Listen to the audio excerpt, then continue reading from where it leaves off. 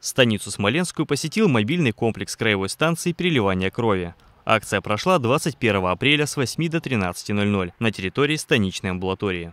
Стать донором смог каждый, кто не имеет противопоказаний по здоровью. Как утверждают специалисты, процедура забора крови безопасна, не занимает много времени и предоставляет возможность спасти чью-то жизнь.